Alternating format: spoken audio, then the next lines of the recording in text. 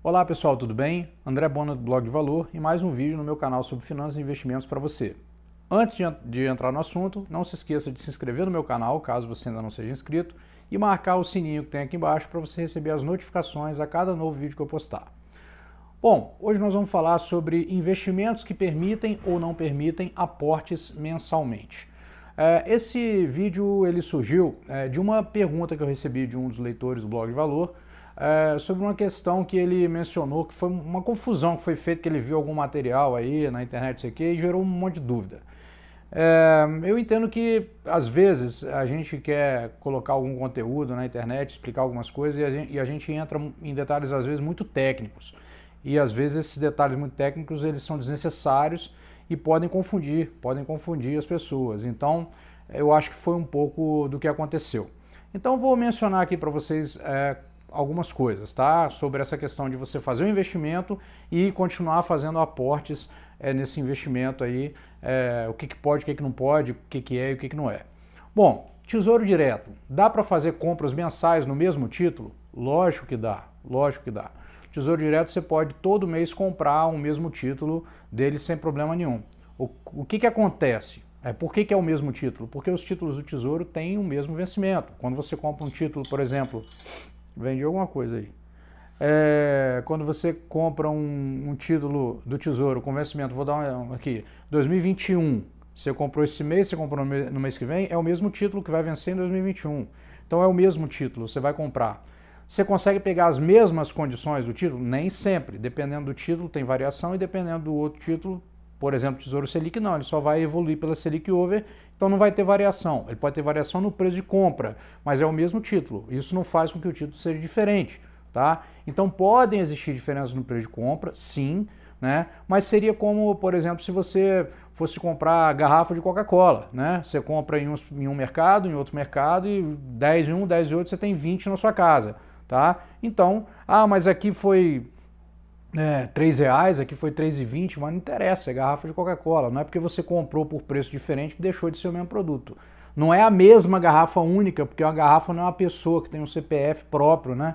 Mas é o mesmo produto. Então, é, são produtos iguais, similares. Então, quanto mais garrafas você compra daquela Coca-Cola ali naquela mesma especificação, mais estoque daquele produto você vai ter. Então, Tesouro Direto é perfeitamente possível você é, fazer aportes mensais. Pode ter diferença é, do preço de compra, pode ter diferença das condições de mercado. No entanto, o valor de resgate dos títulos do Tesouro é sempre igual. Tá? Então, se você compra um Tesouro pré-fixado com vencimento em 2023, então não importa quando você compre, não importa se você comprou mais barato, mais caro, qual taxa que foi, no valor de vencimento, todos eles vão, ser, vão ter o mesmo valor de vencimento. Tá? Então, isso é importante você saber. Então, cada tipo de título do Tesouro vai ter o mesmo valor na data de vencimento. Se você compra um Tesouro IPCA 2035 é, agora ou daqui a um ano, por mais que você tenha comprado por valores diferentes, da mesma forma que se você comprar uma garrafa de Coca-Cola hoje ou daqui a um ano, elas, elas vão ter é, é, valores diferentes, possivelmente. É, a data de vencimento, né? Até vale a pena comparar, porque Coca-Cola não sei nem se deve vencer, acho que não vence. Né? então, e se vencer, você usa para outra coisa, para limpar o ralo, sei lá. Mas então, é, Nesse caso do IPCA 2035 é o mesmo título, vai ter o mesmo vencimento e não importa se você comprou o título hoje ou amanhã ou depois de amanhã, ele lá vai ser corrigido e vai chegar naquele mesmo valor. Então, o imposto vai ser diferente? Vai, porque nos investimentos o imposto ele é feito de acordo com a compra que você faz. Então, cada compra que você fizer, é, ela vai ter uma tributação diferente, porque ela vai começar a contar o prazo de, de, de tributação, né, da, da, da, tributação da renda fixa nesse caso, é, é, pelo prazo. Então, se você comprou um há, mais de dois anos, a alíquota é 15. Se você comprou abaixo de seis meses, é 22,5. Então, cada aporte vai ter é, uma diferença aí. E quando você faz um resgate ou faz a venda do título, é, isso acontece no sistema PEPS, né? O primeiro que entra é o primeiro que sai. Então sempre vai ser considerado é, o título é, o, mais antigo, porque isso vai te dar um benefício de pagar um imposto menor, pagar um imposto menor, tá? É, então, o, é, em data, as compras em datas diferentes, elas vão, elas vão é, gerar impostos diferentes. Porém, se for o mesmo título, é o mesmo título e ponto final, tá? É, no Tesouro também, você tem que lembrar que os títulos, na verdade, eles vão trocando de mão. é o mesmo título. Às vezes eu compro um título, aí eu quero vender esse título antes do vencimento. Então o tesouro recompra de mim, é o leilão de recompra, eu vou lá e compro, recompro, ele recompra, e depois aquilo vai ser vendido de novo para outra pessoa. Então o mesmo título que começou lá atrás e vai até a data de vencimento. Então por isso é o mesmo título. Você não está comprando um outro título, não. Você está comprando o mesmo título que vai trocando de mãos, entendeu? Existe a dívida pública é, e os títulos da dívida pública ali que são negociados no tesouro.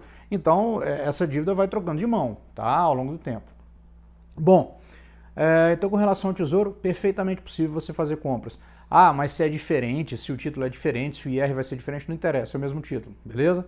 É, ativo de renda fixa de emissão bancária, um CDB, por exemplo. Dá para eu fazer compras mensais no mesmo ativo, no mesmo CDB? Não, aí não dá. Né? Por quê? Porque o conceito, existe um conceito de aplicação, do que é quando eu aplico no CDB, e um conceito de emissão de um ativo de renda fixa. O que é emissão de um ativo de renda fixa desses bancários? É, quando você faz a aplicação, na verdade, é, é, é, o mesmo momento em que o banco está fazendo uma emissão de um ativo para você. Então, naquele momento, as taxas e as condições são definidas e você aplica. Aquilo lá não é um produto de prateleira que você vai e coloca o dinheiro. Não.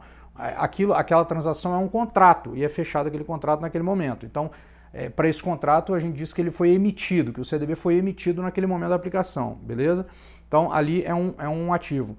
Então, você depois, quando você for fazer uma nova, um, um novo investimento num CDB naquele mesmo banco, pode ter um prazo de vencimento diferente, pode ter datas, é, é, é, vão, podem ser em datas diferentes. Ah, se eu fiz hoje, faço daqui uma semana, por exemplo, podem ter taxas diferentes, podem ter mínimos necessários diferentes para você fazer esse investimento. Então, todas as condições vão ser diferentes. Não é o mesmo CDB que tem uma mesma data de vencimento, não é, que foi trocando de mão, não é isso. Ele é uma nova emissão. Portanto, cada compra de um CDB, ela é uma emissão diferente nova. Tá? Então, por exemplo, quando você compra um CDB em meses diferentes, você está comprando novos ativos, porque são novas emissões. Perfeito? Então, por exemplo, se eu compro no dia 1 é, de dezembro um CDB para vencer daqui, sei lá, dois anos certinho, vamos botar a conta, né? É, então vai ser no 1 de dezembro, é, daqui dois anos. É, e no dia 1 de janeiro eu compro outro, e é, é dois anos também, então o outro vai vencer no dia 1 de janeiro depois de dois anos. Não vai, não vai casar, então não é o mesmo título, tá? Essa é uma forma de você entender também. Existem algumas diferenças quando você compra um CDB em bancos comerciais ou em corretoras, tá? Pelo menos no entendimento. Porque você pode falar, pô, mas não é bem assim, no meu banco acontece diferente. Não, é porque às vezes no banco é, os CDBs são agrupados para simplificação do produto para você. Então às vezes você vai colocando e aí tem aquele CDB é, progressivo, por exemplo, que é, na medida que você vai aportando mais recursos, ele pode aumentar a taxa, é, mas aí é uma política comercial do banco de dizer, pô, se a pessoa tiver tanto em CDB, eu atualizo a taxa para todos os CDBs que ela tiver. Isso pode acontecer. Então, às vezes você tem a sensação de que é o mesmo, mas não é, são emissões diferentes. Em corretoras, sempre é tudo separado. Cada CDB tem seu vencimento separado, mesmo os CDBs do mesmo banco, é, que tenham até taxas iguais, eles são separados, né? até porque normalmente os vencimentos são diferentes, perfeito? Então, é, no caso do, dos CDBs, não existe, por exemplo, é, é, um método PEPS, né? primeiro que entra, primeiro que sai. Porque quando você fizer o resgate, você vai fazer o resgate daquele ativo ali. Nos bancos até acontece que você vai fazendo vários CDBs, você foi fazendo CDBs lá, 5 mil, 5 mil, 5 mil, aí você tem 20 mil, por exemplo. Aí você quer resgatar, uh, sei lá, 10 mil. Aí ele vai pegar o mais antigo primeiro e depois o segundo, beleza. Porque aí eh, você consegue enxergar em bloco. Mas quando você vê numa corretora, não, você vai resgatar aquele ou aquele ou aquele ali especificamente. Tá? Você não vai é, mandar resgatar CDB e ele vai puxar todos os CDBs e vai, e vai é, é, definir qual é o mais longo. Não, você tem que dizer qual que você está resgatando, perfeito? Bom, nos fundos de investimento tem uma outra diferença com relação aos ativos. A primeira diferença é que os fundos não têm vencimento, né? eles não têm um prazo de vencimento, você pode ficar investido por eles indefinidamente. Então, não tem diferença, não vai ter diferença no novo aporte, porque o novo aporte você vai acompanhar o mesmo fundo, tá?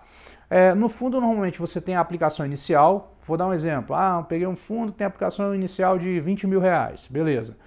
Você tem as aplicações mínimas, um fundo que tem uma aplicação inicial mínima de 20 mil e as, e as movimentações adicionais mínimas são de 5 mil. Significa que eu só vou poder fazer novas aplicações e novos resgates com valores mínimos de, de 5 mil. e existe o saldo mínimo de permanência. Então, por exemplo, tem um fundo que eu tenho aplicação mínima de 20 mil, movimentações adicionais de 5 mil e é, montante mínimo de 5 mil. Significa que se eu tiver é, 10 mil nele, eu não vou poder resgatar de forma que o saldo seja menor que 5 mil. Se eu resgatar, eu vou ter que resgatar tudo, tá? Então isso faz com que esse montante vá integrando o mesmo, o mesmo fundo. E aí você tem uma visibilidade de que aquilo é o mesmo produto. Mas, mas é o mesmo produto, né? Porque não tem vencimento, então você vai ficar indefinido. Mas tem alguns pontos que se assemelham aí aos outros ativos que a gente falou. A primeira coisa é o valor da cota. Né? O fundo tem uma cota. Como assim uma cota? O fundo é uma carteira de ativos, ele foi lá, montou o fundo. Aí cada cota vale um real, por exemplo. Aí ele vai rendendo. Agora cada cota passou um, não sei quanto tempo, vale 1,20. Né? Então todo dia ela vai atualizando. Então quando você faz a aplicação, você coloca o seu dinheiro lá, vai ter o valor da cota do dia, vai fazer a conversão pelo seu valor e vai te dizer, você tem tantas cotas do fundo. Tá? Quando você aplica daí um mês, o valor da cota vai ser diferente. Então o valor que você aplicou vai dar menos cotas, tá? Mas não tem problema, porque o fundo vai continuar seguindo a mesma estratégia daí para frente. Mas o, o, valor das cotas será dif diferente.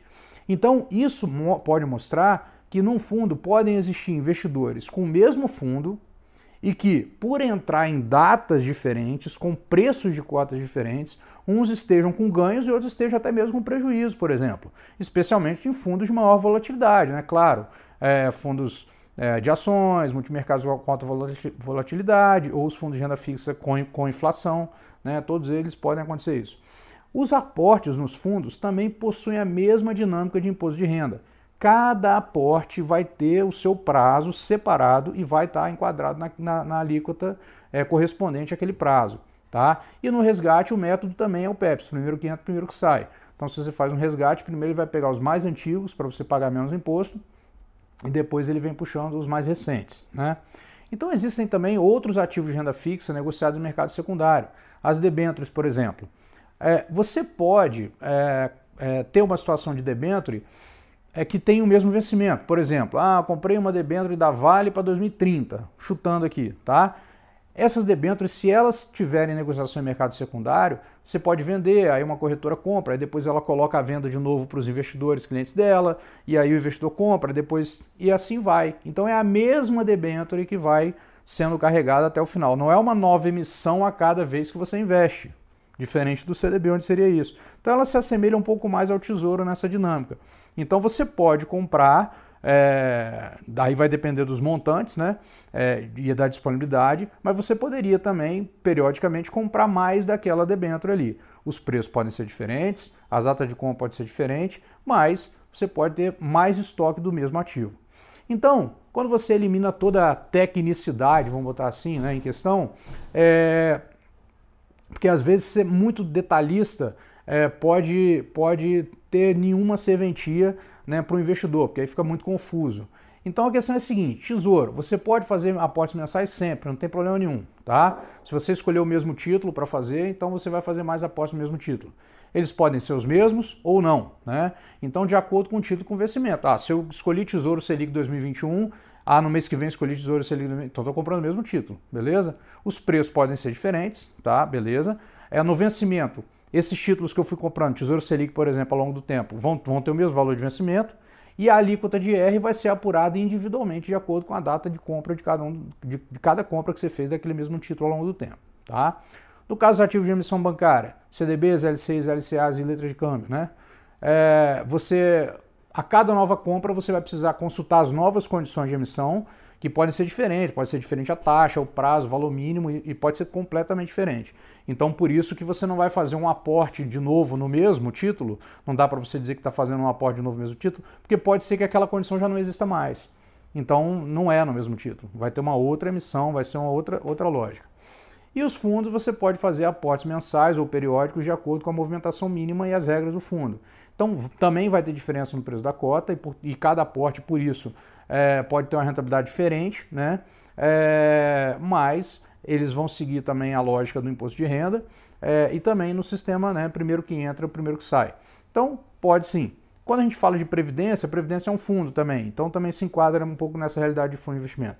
O que eu queria mesmo passar a mensagem para você é que é possível é, e na maior parte dos investimentos você continuar fazendo aportes mensais sem problema nenhum. É claro que tem as regras daquele produto, daquele investimento, mas é possível. Ah, se é o mesmo título, se a taxa é diferente, se tem um preço um pouquinho diferente, isso não, não muda a realidade de que no Tesouro, por exemplo, você pode sim fazer aportes mensais no mesmo título sem problema nenhum. Beleza? Então essa era a, a dúvida que foi gerada. É, eu me concentrei um pouco mais em tesouro porque a dúvida veio por conta do tesouro, é, mas era essa, essa informação que eu achei muito relevante quando foi me perguntada. Falei, vou separar isso aqui para fazer um vídeo para explicar um pouco, falar um pouco sobre isso. Então, tranquilo, pode fazer novos aportes mensalmente, periodicamente, no mesmo título, sem problema nenhum, é possível, tá? Só respeitar as condições e entender que podem ter variações. Ok? Então, era essa a dica de hoje. Não se esqueça de inscrever no meu canal, marcar o sininho aqui para baixo para receber as notificações e entrar no blogdevalor.com.br e cadastrar o seu e-mail para receber as minhas dicas diretamente para você. Um grande abraço e até o próximo vídeo. Tchau, tchau.